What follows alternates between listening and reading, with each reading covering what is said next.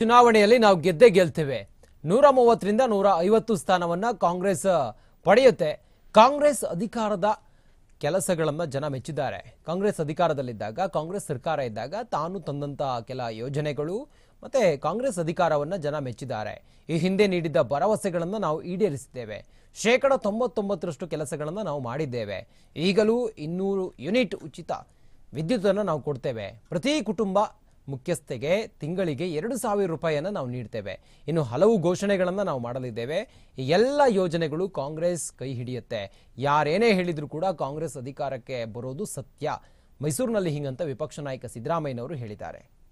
ಕನಿಷ್ಠ ನೂರ ಮೂವತ್ತು ನೂರ ಐವತ್ತರವರೆಗೂ ಗೆಲ್ತೀವಿ. ಗೊತ್ತಾಯ್ತಾ?